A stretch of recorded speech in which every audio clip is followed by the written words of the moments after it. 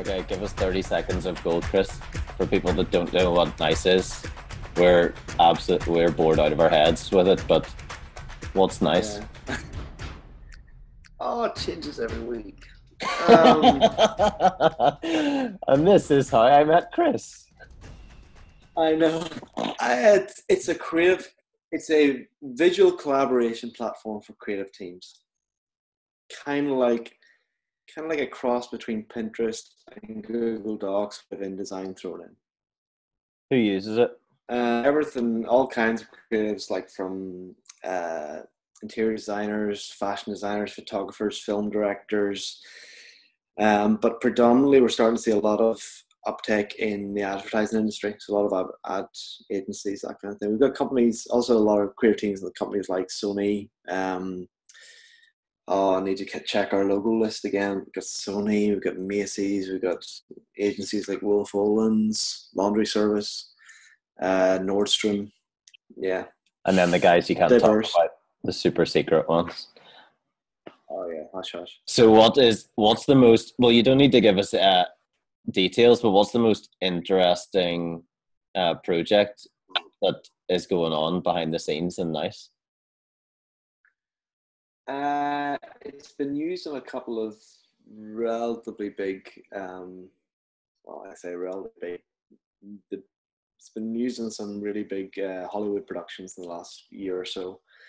Um, and has also been used on some huge game projects, um, game titles. Again, can't say specifics, but um, for sharing you know, concept art, that kind of thing, and, and again, research.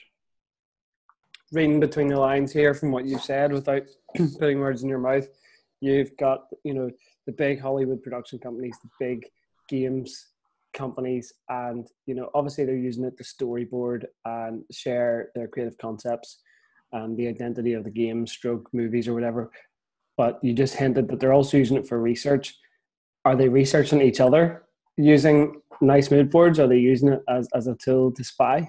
Well, obviously they can't they can't actually see each other's content on Niice so it's all private and so on. Mm. um, but no no it tends to be you know you know every creative team every creative project you know the first step is going out there and looking at what's out there and, and gathering references and together to kind of um, develop a, a, visual vocabulary for the project going forward and you know common reference points both whether that's internal teams coming up with ideas to discuss or you know working with clients to try and you know use these common reference points to figure out okay is that what you're kind of thinking or are we heading the right direction or whatever it may be so, Chris, with the like the definition or description of your company is changing every week. It sounds like you're understanding the customer more and more every week. Is like, does that affect the product releases that you're that you're focusing on? Because you you seem to be putting out. We'll get into the details of that, but you seem to be putting out new features pretty frequently. Yeah, well, we've always been putting out new features pretty frequently. We just haven't been always telling people about them. Um, so we're getting we're getting better. I think at just communicating what we're doing, um, getting into a better rhythm of that. And actually, we started to talk about that in a bit, but try and just like we've been doing, taking an agile approach to our development um, for years. We're starting to take the same kind of approach with our marketing, uh, getting a little bit less precious about trying, just like with agile development um, it's not about trying to do these big bang releases, you know, but kind of release little and often. Like, what's your main focus at the minute in terms of product development? Where are you guys? Where are you guys focusing on? Because Niice can be used in so many different workflows, we've always had a struggle kind of nailing down exactly who we were trying to target it at. Um, and part of that is because it is genuinely useful in pretty much all creative workflows. Um, but I guess there's a difference between usefulness and value, and it's not equally valuable in all workflows. Um, so we've been, you know, over the past six months or so, more I guess at this stage, slowly sort of focusing more and more on, you know, on which audience we want to really target Not that we're wanting to alienate anyone who's finding this useful, but who are we putting our resources into um, to, to try and target it, to, to sell it to. And sorry, how are, so you, we had, are you making that decision? Like, how do you? Because there's so many of them. Well, who who is this worth money to? Who is this actually worth money worth paying to? So, um, you realize that like so for example, you know, six months ago we were thinking, okay, this seems to be most useful to photographers, interior designers, fashion stylists. That seems to be who's getting a lot of value out of this. When you start to really look critically at right, but who pays us? Who's actually going to pay us? But what what sort of scale do we need in each of those industries to to make a good business and to be able to continue to develop this the way we want? Um, well, fashion stylists tend to be quite distributed. There's not that much money in the industry. Um, so we need to hit them at significant scale to be able to reach them, or we need to go to who's paying them. So the the fashion retail companies and so on. Um, and on the one hand, that is something we're kind of still uh, exploring in the background. But right now, we don't you know, the more we looked into that industry, the more we realized we don't understand that industry anywhere near enough um, to really do it justice at this point. So, again, I think fashion is going to be an industry we can look at in the future, but for now, it's probably um, again without without alienating those who find it useful. It's probably not going to be someone we're going to be actively trying to target for the next year. Um, interior design, when you look at the interior design industry, well, it, there's kind of a cross between the residential and the commercial interior design. Um, the money, significant money, is really in the commercial. You know, again, res- residential, there is there's some money, sure, but in terms of people paying for tools and so on, um, someone who you know people are really getting value out of it are going to be those who are working on big office projects rather than those who are you know fitting out homes and so on when you start to look at the workflows of those big office projects, you realize, oh, flip, they've got all these other tools and workflows that we don't know about yet or don't fully understand. Um, we could bring value to that workflow, but we've got six to 12 months worth of feature development we need to do to integrate with all those other existing tools and workflows. So, Chris, sorry, go on. Cut you off. I was just going to say, photography, so this is kind of where we've been landing, like you realize, okay, we're closest to the photography workflow. Either you reach them at scale, charge them 10 dollars a month, you know, but you need to hit a hundred thousand of them, and we don't have the marketing budget to be able to do that. Or you find, you know, some sort of organization or some sort of customer level that you can target that um, is it's part of that workflow, but they have the money. It's worth it to them to pay for it at scale. And that, fortunately, turns out to be advertising. So when we look at the advertising industry, um, a lot of that is photography workflows, also animation workflows, and so on. A lot of those work, different workflows we've been exploring are all bundled up in the advertising industry, but the difference is ad agencies actually have the money to pay for it, and it's worth it to them to pay for because they're doing this kind of work at scale. Chris, you know, obviously I have for anyone listening, I have the probably unfair advantage in that we have worked uh, alongside you and, and, sort of seen the story. So I probably know more parts of the business than perhaps the standard viewer does here. But what you've described from from an analytical standpoint is that well, first of all, you're kind of you've transitioned from designer to business person or designer to business focused product manager. So that has, sounds like one of the transitions that's happened at Niice.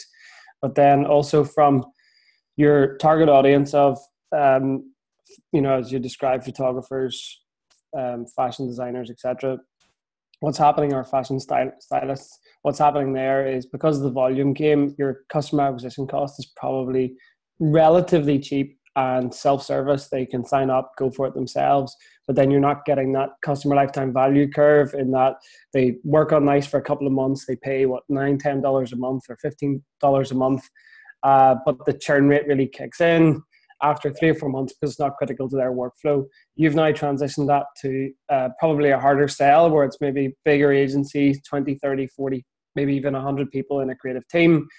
They have huge productivity issues. Um, Niice is a huge time saver. It makes it the creative process much more efficient. And so there's a business case behind the buying decision there. But whilst the acquisition period, customer acquisition cost is higher, it's longer. Um, you've got a much longer customer lifetime value. Is that kind of would that summarize what the transition you've been on? Yeah, that explains things way better. Um, but there's a there's a big difference between those big sort of agency sales, which are really more like it's enterprise sales, um, versus that you know, like you say, zero touch, people coming along and finding us online. Um, and, and you know, most of the big deals that we've got so far uh, have come through people just discovering us online and then evolving. But even those still take, you know, going, visiting people, meeting people, building relationships, figuring out exactly what they need. Like you say, building a business case. Um, so they're kind of they're almost two completely different businesses, really. Same product, but selling a large deal to an agency and selling um, you know a subscription online that they'll probably cancel after three four months because like you say it's it's not mission critical to them or you know you've got those individual if it's an individual using it then well if they don't need it for three months they'll just cancel and yeah. resubscribe when they need it um, that's all well and good but for a small bootstrap business like us we need a lot more steady revenue so yeah, and actually, what you've just described about you know having same product, two entirely different business models for two different use cases. The idea of going and doing that almost sales, which to a designer or a product person is totally foreign. But coming from my world, as where we live in you know selling product management services to other companies, is I try to explain this to designers and engineers all the time that actually that sales process, that going and talking to customers, whilst it's it's a long way away from you know pushing pixels around a, a sketch file or writing code, is that it's actually product discovery too. Um, you're you're picking off insights around a business case, which makes the features that you go on to build in the next two, three, four months um, an awful lot stickier than the ones that you would do if you just stayed in the office. So, so actually, it's trying to you know uh, change mindsets a lot of the time within product teams is the hardest part um, in that they are those individuals they're still designing they're still developing they just might not be behind the computer screen. Can you tell us a little bit about that journey for yourself? You know i knew you five years ago when you started Niice. Um, your background was a web designer. And tell us a little bit about that journey because now when i hang out with chris uh, for you know coffee or lunch whatever the conversation is is churn. It's it's it's customer lifetime value. It's stickiness. It's feature dependency charts. It's reading uh, analytics off Baremetrics. You've come an awful long way from from just being a, a snooty, snobby designer that cared about fonts. We're not, talk, we're not talking about fonts so much anymore. Yeah. yeah. Um, although I still do complain about kerning on the menu. Um, yeah, it's it's been interesting. I think I so I previously been, um, like you say, doing web design with an agency here in Belfast, and then we did it, evolved into a bit of product design with Typecast, which got acquired by Monotype.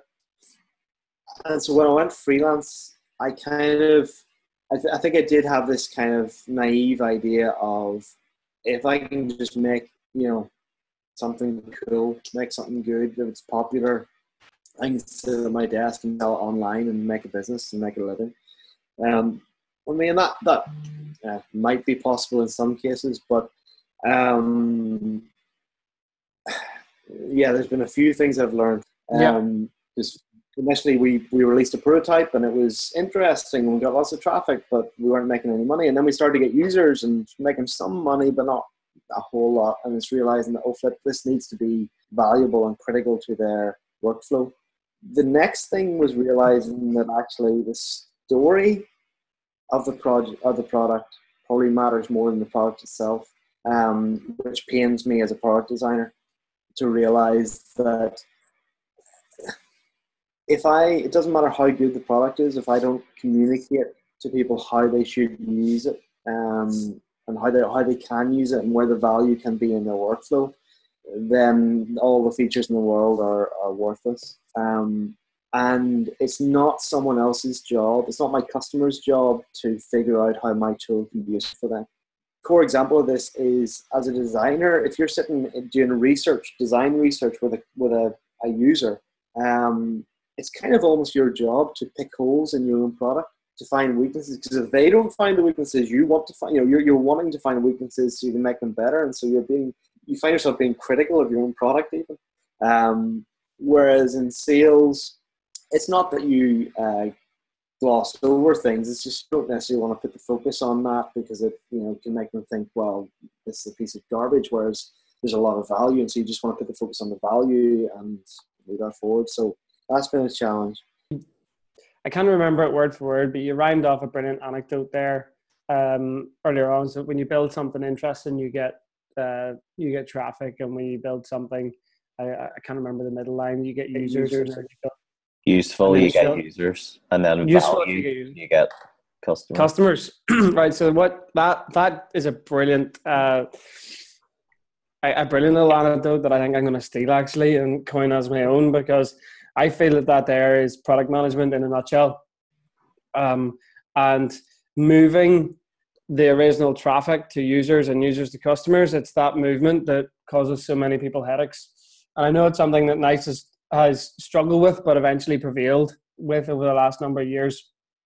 And I want to take us back to a moment in time. I actually think we have a picture of it, which we might be able to pull up at some point, um, of the first feature dependency graph that uh, you did maybe a couple of years ago when product analytics became a thing. And I know you might not follow that principle anymore or use that in your your suite of product management techniques, but I, I think to a degree you, you use it in principle. And really, um, what I mean by that is, you know, imagine you had maybe we'll be able to bring a, something up, uh, an overlay, Cameron. But if you can imagine on your left axis, you have a volume of um, of users, and on the right axis you have frequency of use, and you kind of plot your features on the chart accordingly. And if you have something that's on you know really high and left, it's you know it's saying you have loads of users use this very little of the time, and then in the bottom right you you could have um, lots lots of your users use this, but or sorry, uh, very few users use this, but they use it loads. And then the ones in the top right are are a mixture of both, and kind of anything in between. You've you've kind of got this weird decision whether to cut or just allow a, a niche a segment of your your audience to use it.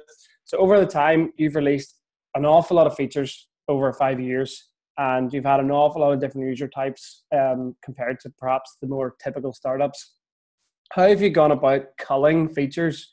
You know, at times your product has come under criticism for bugs or for perhaps lacking polish due to the aggressive timeline by which you would release features. And over the last couple of years, you've gone about restructuring it to become an awful lot more of a polished onboarding experience for your users and perhaps a I'm not going to say limited set of functionality, but more refined to a particular use case. You able to take us on that journey a little bit and the, I suppose, the conflicts that arise from it? It's a useful tool, um, but it only shows you half the picture. And this is true of all uh, quantitative analytics. They only show you what has happened already in the past. Um, and the challenge I have, the struggle I have with that is that if you're making decisions based purely on that, then um, well, basically you can never justify a new feature because no one's using it currently, or you know, and a lot of the time, you know, so you don't what you don't know is well, okay, X number of people are using this, you know, lots of people are using this feature A, very few people are using feature B.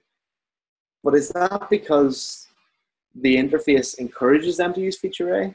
Is it because that's is it because feature A is more valuable to them, or is it just because uh, that's the way the interface is set up that kind of encourages them along that path?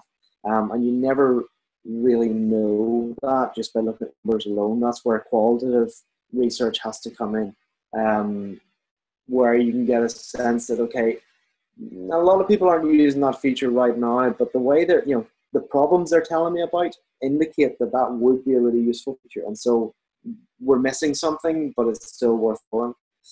Um, that said, I think you know you're right. We've we've developed a lot of features over the years, and usually you know because of the way we were, I mean, we're now we've now got a full time development team but for years we were because we were bootstrapping, you know, you're using contractors as and when you can afford them. So you maybe had two days a week development, and so like, you know, there's a whole discussion in in manage, you know, project management for that kind of part-time development schedule. But um, the long and short of it is that you tend to have to just get things over the line in a day or two. Otherwise, things string out over weeks. So most of the sites kind of built two days at a time. Um, and for a long time, that has shown then in the level of polish and bugs and that kind of thing. Um, we tended to build things to make them possible and then worry about making them easy or polishing them in the next round because we knew that in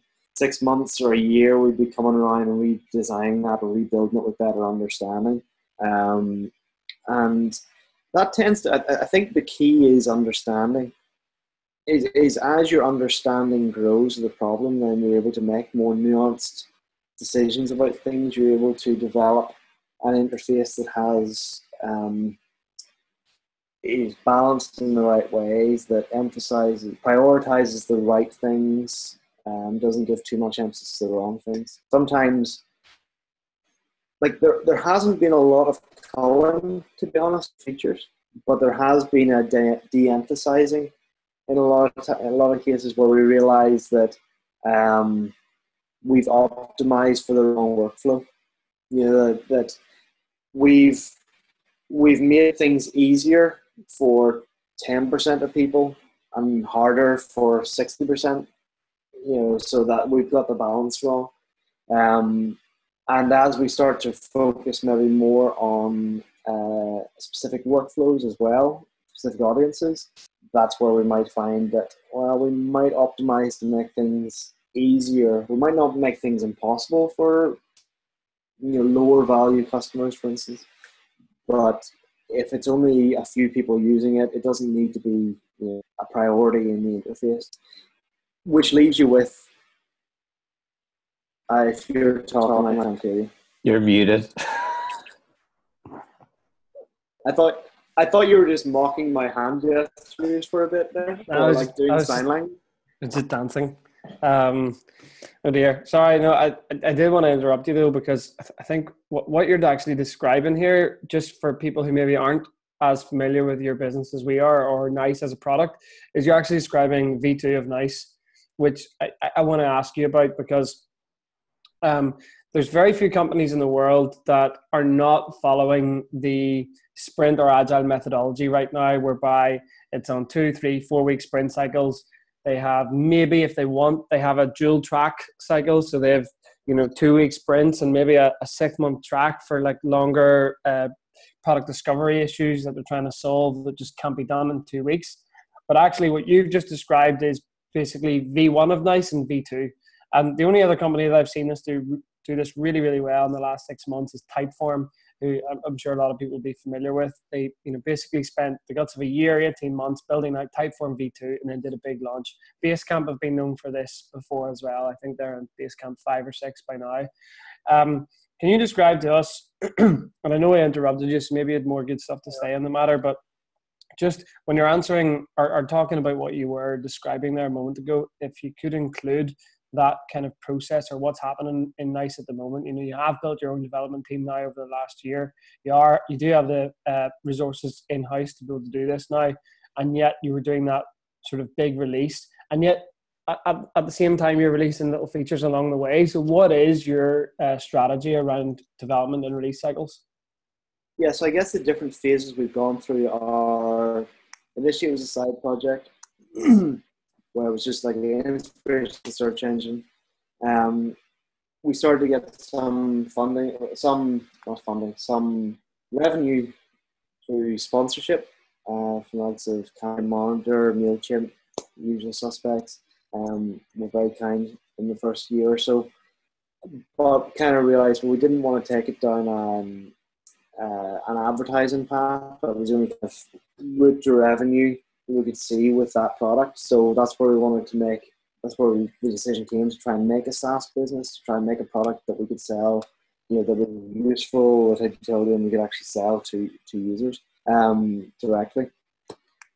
We developed the mood boarding tool as it was then, um, to, to try and, and test well can we sell that? Can is that valuable enough for some people to pay for it? Turned out that it was.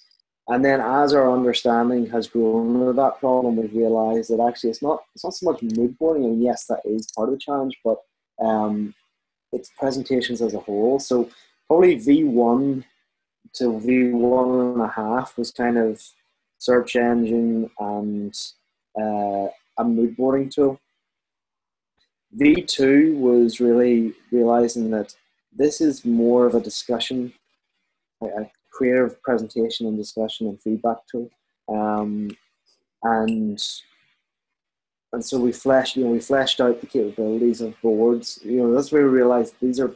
It's not about mood boards; it's about boards in general. Um, what I've realized since, I guess, is that especially when you look at say the advertising industry, like I, I think it's true of most creative workflows, they run on decks. The world, you know, the, the process runs on decks, and it's you know, the amount of time that is being spent creating slide decks and presentations. I mean, basically every agency I walk into, every creative team I walk into, I'd say, well, how much time are you spending creating slide decks and presentations of your work versus creating the work itself, it's usually more than half. And so, what has happened, I think, is that our understanding of the problem we're trying to solve has grown over time, and so the product has has developed to to address that. Um, in terms of our roadmap at the moment, we're fortunate to have a couple of um, big customers who are there are certain feature sets they're looking for that will be useful and will be available to everyone, but it's really valuable to them, and so they're kind of funding development, and so that's features that are you know that we can charge for the development of are being prioritized at the moment, um, and then after that I think the things that we're going to be focusing on, so the, the features we're working on at the moment are around, again, developing our capabilities of boards, developing the, the template capabilities of boards as well to make it a lot easier. Because what we're realizing is that, again, it's that thing of rather than giving someone a blank canvas and saying, you figure it out, uh, figure out how our tool can be useful to you, templates are a really good way to show how people can use it in their workflow. So we're developing those capabilities the next step though will be focusing really focusing in on the discussion capabilities of boards um you know the adding comments annotations that kind of thing. And then there's a whole host a whole world of kind of you know we need to develop the ipad app and that kind of thing and building pencil support and stuff like this. There's a lot of exciting stuff along those lines. That said there's still the search engine and there's still like I say, value in it. The challenge we have right now, uh, from a marketing standpoint, is where marketing and product are clashing a little bit. Is that even though where we're making our money and where we're providing most value is the um, boards, where we're getting most of our traffic from is the search engine. And so, as a marketing tool, it seems to have value. The problem is that currently, when people land on the site, um, they see basically a Pinterest clone. That's you know they look at it and go, "Oh, that looks like Pinterest," and think they they get what the site does, and don't realize the depth there is to it, or the, you know, we're not communicating our our value proposition really or our differentiator of that very well.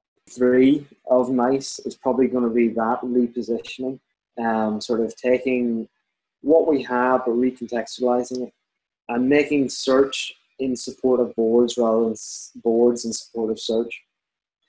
Um, I think that'll be easier to do if we actually put a bit of time into tidying up search, or we put a bit of time into, you know, freshening it up, giving it another pass, and you know, rather than just moving it and relegating it to somewhere else, also adding value in doing that. So if it's part of that, we we've moved this elsewhere, um, but we've also added a lot of value in doing it. Here's a ton of things we were planning to do for years, and we finally made this tool better. And here's exactly how it'll be useful, and also where it fits in the overall workflow of boards. Um, so I think, like, Chris, I think from like from a brand positioning point of view, you've definitely always wrestled with who who the customer is, who you are as a designer, and how this started, and in the integral sense of just wanting to provide a tool that solved a problem. Um, and there's obviously that there's that conflict of you holding on to that as we often joke that you're not a designer anymore, you know, but you are a designer. You're like that'll always be there, um, and that that seems to be that's probably going to be one of your hardest wrestles in this transition to V3. Um, but I'm I'm just aware of the time here. I could talk forever, but like just as a way of wrapping up, I'm just interested in how you see the brand positioning of Niice actually evolving. Um, because at the you know at the minute, if you were to land on the Niice homepage, it's very much positioned for an individual, for a designer, for a creative, you know. Um, but that's not how you're doing business. You know, you're walking into the head office of Nike and you know, like you're having big conversations with big decision makers um, and they're you know they're the crux of your business you know now.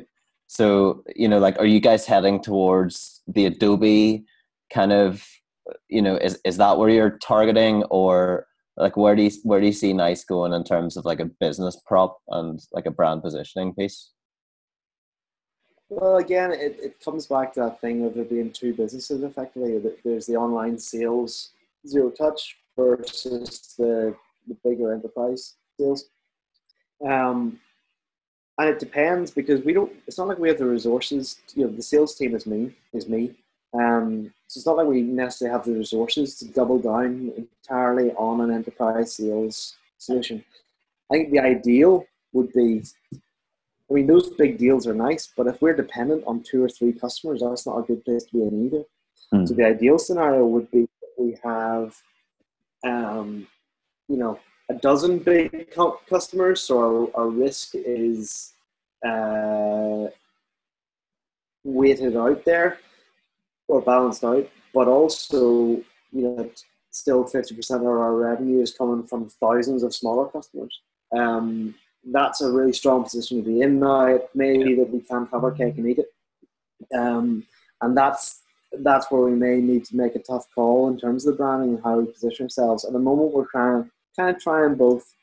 Um, so that'll be an interesting thing. There's also the case of well, where do we want to take the company? The nice thing about being bootstrapped is that as long as you're paying your bills, you know you can do what you like. Um, and my goals as a company are to build a you know team of great people that we can just make cool stuff with. Frankly, um, that's you know there's a big problem to solve here that we see in the creative industries. There's massive workflow challenges. Um, I think boards is a really solid solution or can be a really solid solution to a lot of those challenges, but there will be other problems that we see that we'd like to tackle and solve as well.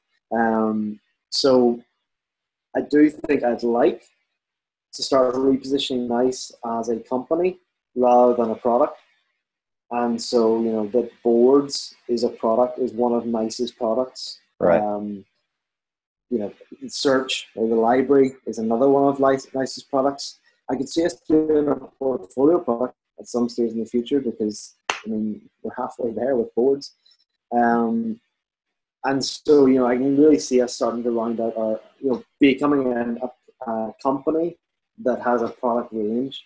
Um, you know, like like Adobe Creative Cloud or something at a, at a much smaller scale, obviously. That said, there's also you know when you when you look at the enterprise side of things and those large agencies, um, there is a need for an overall kind of one-stop shop creative hub uh, for these discussions to take place, for the project management to happen, for the feedback and, and approval processes and so on. Um, and so from a product standpoint, that's where we're going to be heading. Whether the company, you know, how much of a difference there is between the product and the company in terms of branding, I don't know yet. I know Cam's on a on a wrap up rundown here of uh, some quick fire questions. Chris, this is my last one. Very very briefly, there's a lot of very clever stuff going on in the tech stack of Niice. Um, again, behind the scenes, you've built your own uh, layout engine uh, with with machine learning involved in it. You've built it two or three times, and it's getting smarter and smarter. You have a lot of clever stuff going on. Um, can you give us a very brief overview of the tech stack? I know that primarily this is a Rails application, but you've also also been playing around with React in recent times. Can you just give us a quick headline on that? Yeah. And why? And why? Um, so we started out as a Rails app. Um, Pete Hawkins was helping me build it initially. Um, you know, was new Rails, so that made sense. And I think it still was the right call. Um, and then over time, we realized that we needed to add back. We used Backbone as our JavaScript framework, that kind of thing. Um, initially, we had no frameworks. It was literally just a Rails app, HTML and CSS, and it was an absolute mess. Um, over time, what we've realized we've had to do is try and separate things out so they're more API based. Um, so by decoupling the front end from the so we developed an API anyway for iOS apps and so on. Um, we've been expanding that now to the point where even though the front end is still on the same server as the back end, um, as the Rails back end, 99.9% of it is being run off the API anyway. So we can get that to 100%, then we need to decouple things out. Um, and then that us to heck, if we want to swap out the API for PHP or whatever, or Node or whatever the cool thing is, um, then we can do that. If we want to swap the front end into something else entirely, we can do that as well.